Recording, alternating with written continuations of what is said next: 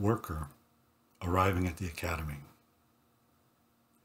In response to labor in a single shot and workers leaving the Lumiere factory, this short video interrogates shifting definitions of labor and workplace in the work from home age of the knowledge economy. My dual roles as both an employee, producer, and student, product, of the university are also investigated. Depicted as a slightly condensed recreation of my morning commute on days when I work from home, and a few minutes of the product of my labor as a student.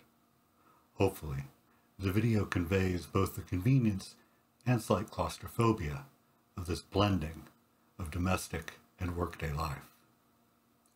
Opening with two columns of images on the right and left side of the screen, depicting an empty room illuminated by the dual workspaces of myself and my partner, and a central column of darkness.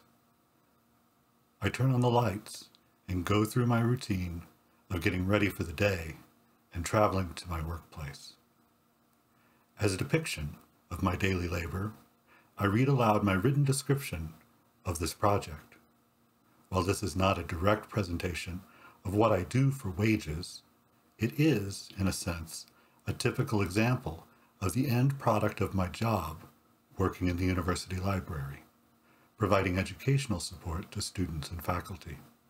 It also questions the positioning of the student in the academy when the university functions as a marketplace competitor producing and licensing knowledge.